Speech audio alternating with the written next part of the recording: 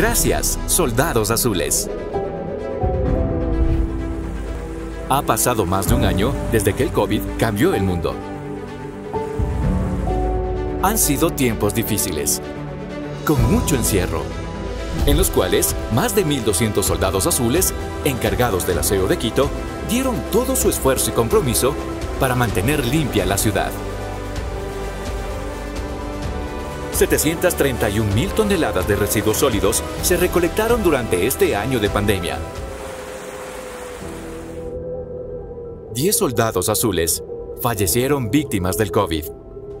Cada uno de ellos es recordado con mucho amor y admiración por Emaceo y por los quiteños. Son nuestros héroes anónimos y merecen todo nuestro respeto y colaboración a su trabajo. Mejoremos por Quito. grande otra vez.